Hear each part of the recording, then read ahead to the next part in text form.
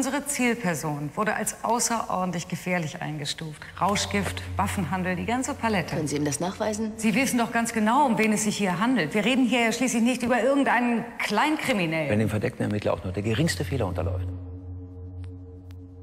dann könnte das zu einer Katastrophe führen. Ist Ihnen das bewusst?